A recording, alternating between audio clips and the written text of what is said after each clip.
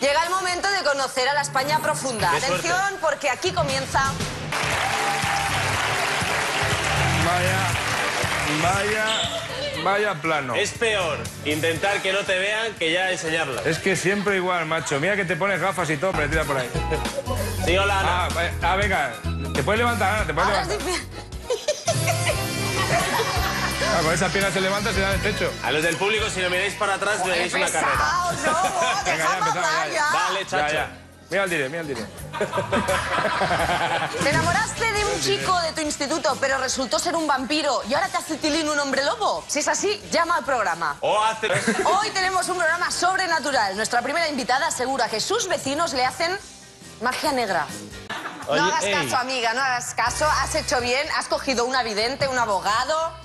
Ahora solo le falta. Y seguimos con magia negra porque nuestra siguiente invitada sufre la maldición de su suegra fantasma. Y acabamos con un caso terrorífico. Una señora que asegura haber entrado en contacto con los alienígenas y tiene pruebas de ello. Basta. Madre mía, Es el momento de mía. resolver hoy las dudas. Hoy en el diario tenemos al extraterrestre implicado en el asunto.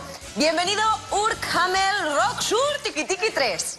¿Suelen usar lo que es conocido como un rayo tractor? Pregunta que siempre he querido resolver. ¿Hay vida en Marte? Hasta aquí el diario de Ana. Nos hemos quedado sin tiempo y sin insultos. ¿Veis cómo sí puedo poseeros? Aparta, figuranta. ¿Cómo mola? A ver, ah, sí. No hago fiestas. venga, fuera. Muy rara, pero te hace así como cosquillitas, ¿eh? Claro que sí. Pero venga, va serios, porque tengo que deciros que como periodista estoy muy afectada, entristecida, apenada y ya no me sé más sinónimos. Mirad qué informativo más lamentable vi el otro día. A mí no me da ninguna risa. No, no, no, no. Que no se puede dar una información así. No, es verdad. Ay, Es que es indignante que pasen cosas así. Es verdad, ¿eh? ¿Está bien? ¡Eh, hombre, otra vez! Somos muy de copiar guarrerías y se empiezan a dar así contenidos en nuestros informativos y hasta aquí podíamos llegar, hombre. De que en los informativos salgan guarrerías. Es que la gente no presta atención en las noticias y luego no sabe nada. Mira a Justin Bieber. ¿Dónde está? Es mal que no todos los niños son como Justin Bieber. Sí, hombre. Que no, hay niños que no ven informativos sigue, guarros sigue. y por lo menos se saben las capitales de los países. La ensalada. No, no nos queda. No... ¿Cómo? Que sí, que sí que lo somos. Pero, ¿Y yo cómo he llegado hasta aquí?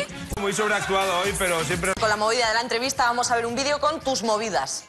Por un lado están los niños Sí. y por otro lado está Guillermito. Sí. ¿Por qué no incluyes a Guillermito dentro de los niños? Si no Pues no, claro, claro, nada. Es como en estas pelis que... como actor, como director, como guionista. Pero intento pasármelo bien. Entonces ahí... Es un gran cómico, así que vamos a ver qué tal se te dan los chistes. Ah, Según. bueno. Cada uno de nosotros ha grabado un chiste que vamos a poner ahora mismo.